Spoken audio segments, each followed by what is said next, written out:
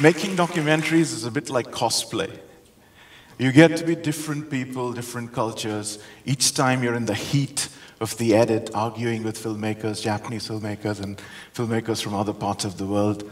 The intensity of the experience at 3:30 in the morning leads to deep impressions and insights about cultures. And today I'm here to discuss five unique insights which I was able to observe while making films in Japan over the last three years.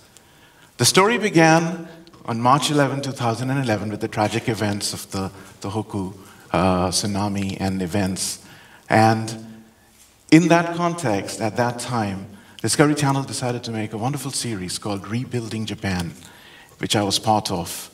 And in the making of that series, something truly cool emerged for me, which have kept me about Japanese culture since, which is the resilience of the people. Each of the five, each of the six films we made in the Rebuilding Japan series captured that amazing grace in the context of deep tragedy. One of the clips I want to show you first today is about Kesennuma and the story of a sake maker, uh, a person by the name of Sugawara-san, who is the sacho of Otokoyama Honten, and they make a wonderful brand of sake called Sotenden.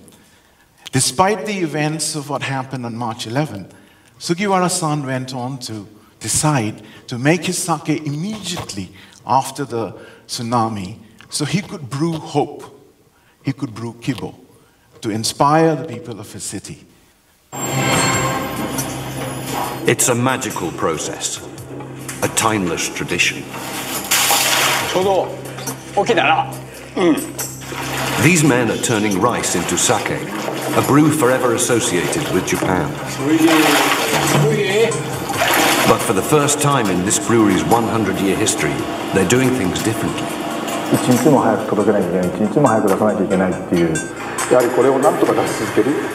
Kesennuma has long been famous for its sake.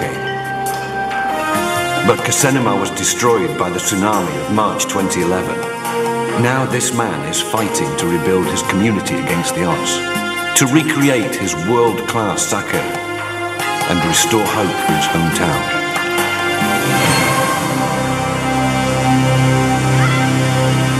It's not just manga, J-pop, sushi, Hello Kitty. Resilience, a wonderful thought uh, which, which explains the spirit of Japanese culture. Um, but resilience that we discovered, that I discovered in the course of making these films, was only scratching the surface, the tip of the iceberg. In another film, we discovered Jedi like qualities Japanese people have. How many of you took the subway today? Raise of hands? Only two, three. Were you able to guess the speed at which the train was traveling? Okay, I'm going to show you a clip from a film which, which was about Japanese punctuality, Japanese culture of always being on time, especially their trains.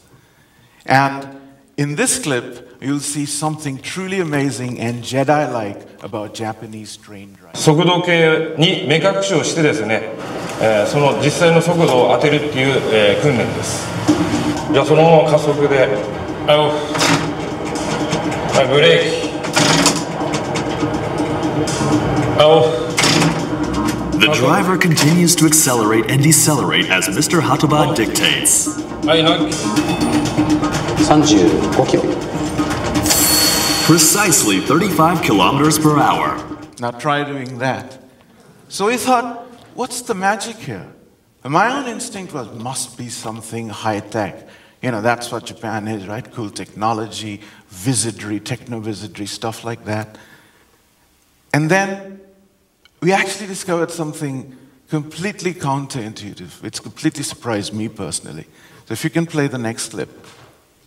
蒸気機関車を運転させればまさに天才運転の神様とまで呼ばれた結城幸喜という人が国鉄にいました Koki Yuki's method involved memorizing the passing scenery and using landmarks as markers for accelerating or slowing down.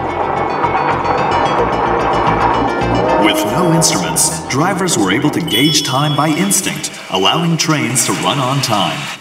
So I was looking for high tech, something funky, something from the future which can help get these drivers to predict the time. Instead, this film led to the discovery of this amazing Japanese forgotten hero who taught train drivers way back a hundred years ago almost to use their peripheral vision to understand passage of time as an image. And then, as signposts go by, to absorb them into your larger vision and predict time. But that's not all. He could also get them to predict the time in such a way that they could guess in how much time they will arrive at the next station precisely. It's like saying, I want to run the 100 meters in eight seconds, and then actually achieving it.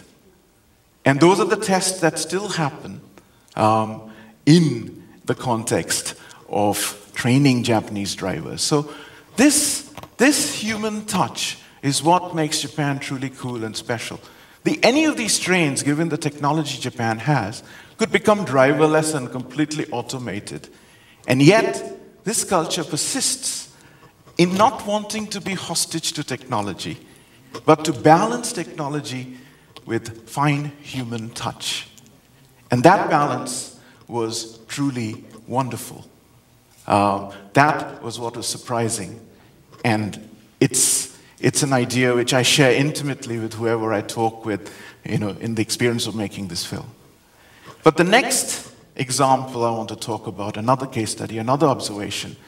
Just because the Japanese love the human touch doesn't mean they won't show off their high tech, cool, funky technology whenever they get a chance. Out here, a lead pencil is being cut precisely into a pyramid. A human, a single piece of human hair is being divided into 35 sections. This is kiru, or cutting technology from Japan. It's used to cut silicon wafers into smaller and smaller chips. Onto which circuits can be embedded, like you can see. And these chips, as you well know, drive pretty much what we consume every day smart TVs, iPhones, Android phones, pretty much everything. So, where did this amazing technology come from? The technology is amazing. It made me wonder um, when I discovered this fact while making this film that Japan controls nearly 80% of the market share for Kiru technology and cutting silicon wafers. If it was 20%, 30%, 40%, even 50%, and there were other countries involved, I said, okay, fine. 80% almost. And then I thought of this image, if you can play the next image, please. This is a country which makes the katana, which used to make the katana more than you know, a few hundred years ago. Is the Kiru technology showcased by the corporations which make cutting so seamless that it can chop human hair into 35 pieces comes from that spirit and tradition. Is the katana making Kiru technology in disguise today in the 21st century? It's almost a topic for another documentary.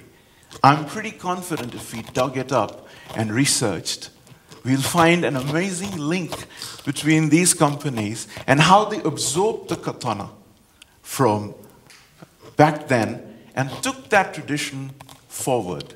And that I try and capture in the concept of past forward. こちらがダイヤモンドブレードというブレードになりますコピー用紙が50ミクロンから60ミクロンですから それの5分の1ぐらいの厚みです簡単に割れますはいこんな薄さです These bespoke blades are made by binding diamond powder to other specially selected metals. Each one is individually crafted to cut through a specific material and thickness at a certain speed. So as you can see, just like the katana, they also have a very detailed craft-oriented process, of course using high-tech machinery, to make blades as thin as the ones you just saw. But what is truly amazing and cool about Japanese culture, which I discovered making this film, is how the past is recreated in the present. How the katana spirit and the making of the katana spirit lives on in the concept of past forward. And that is something which uniquely defines uh, Japan in a way that is very surprising, unique, and different. The next film I was working on was actually exactly the opposite of technology. It was a film on a group of elderly women freedivers up north in Fukui province who completely stay away from technology and yet represent an amazing vision of what Japanese culture can, can teach all of us um, who, who come from elsewhere. And this film called Sea Whisperers was on the Ama divers, made very famous by NHK's Ama-chan series. All these, you know, the eldest diver was nearly 90, the youngest diver was almost 60. And what makes them ama amazing is that they're artisanal fishers. They work in balance and in harmony with the ocean. They believe in not taking too much.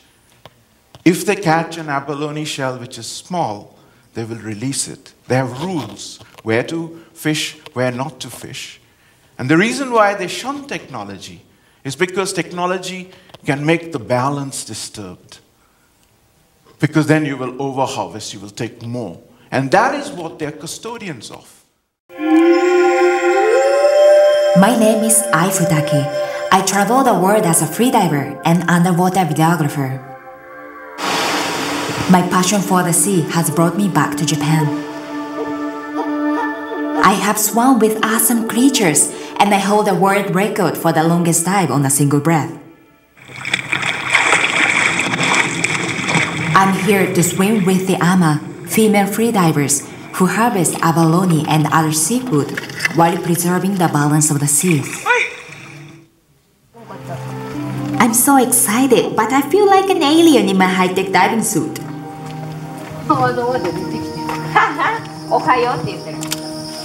I'm puzzled why they stopped to pick leaves.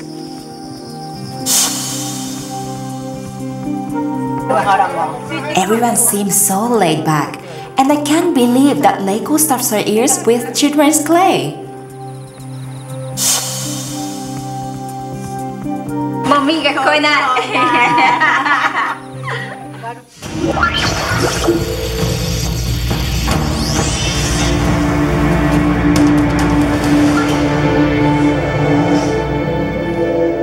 So, from Rebuilding Japan to Super Japan, which is the new series under which some of these films will be airing soon, captured in this film in particular the idea of balance. Actually, each of the examples I've given you capture balance in a different way, starting with resilience, using resilience to overcome tragedy, to find harmony inside yourself, to, to balance technology with the human touch, as we saw in the next clip, and to take the past forward in a unique way and to have harmony with nature as you just saw. All of this led to a very interesting thought, um, a new concept, a new way. Could we find a new way of defining Japan, a new concept? And we came up, and I came up with this idea, a concept of auto artisan. Japan exhibits this amazing mastery of automation and artisanship all at the same time in a way Many other cultures don't. And we like this concept of the blending of two worlds, this amazing balance of the human touch through the idea of artisanship and extreme mechanization and automation through auto, that we actually launched a new format called Auto Artisan to celebrate this Japanese spirit. And in the first clip, which I'm last clip I'm going to show you, um, it's on a car manufacturing giant which uses this blend of the human touch as well as extreme automation to make some of the finest cars in the world.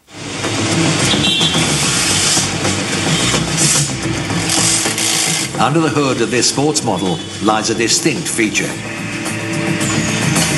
The Boxer engine.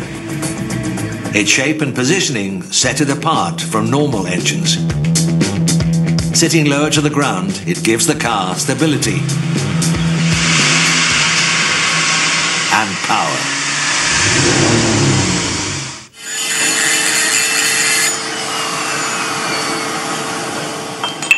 悪い時には高い音いや重いような音がしますカツカツとか、まあ、ピッチを刻むような音がすることもあります This is a skill that takes as much as a decade to master and crucial to the transmission that lies at the heart of the all-wheel drive system. So here you go, they're using robots and assembly lines of the, the most extreme kind, with the best available technology. At the same time, the craftsperson is listening.